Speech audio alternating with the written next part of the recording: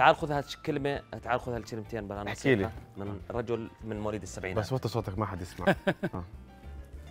اوعك تعيد الجواب هذا مرة ثانية. إذا حابب تروق الدار راح أسألك السؤال هذا قدام المشاهدين مرة خلص. ثانية موافق. وراح تجاوب أكيد أم ناصر. خلص تمام. نعمل بروفا هيك سريعة. يلا. مين أشطر طبخ ال- ال- السمك أنت ولا زوجتك؟ آه. أنت شو بدك تقول؟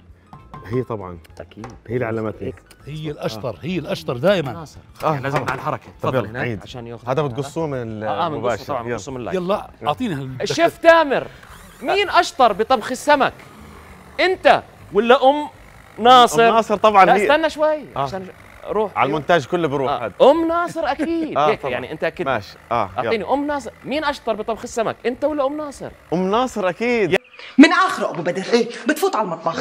بتجيب الببور وبتروح لعند حدا من الجيران عنده زيادة كاز بتستعار منه شوي. ويا ويلك ويا سواد ليلك. إذا رجعت بلا كاز أو إذا ضيعت الببور. هي اللي الله، علمتني. الله. لولاها ما بنعرف نسوي أنا يا والشيف حط حظك يا دقيقة.